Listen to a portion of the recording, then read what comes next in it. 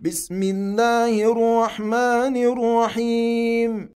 ألهاكم التكاثر حتى زرتم المقابر. كلا سوف تعلمون. ثم كلا سوف تعلمون. كلا لو تعلمون علم اليقين لترون الجحيم. ثم لترونها عين اليقين ثم لتسالن يومئذ عن النعيم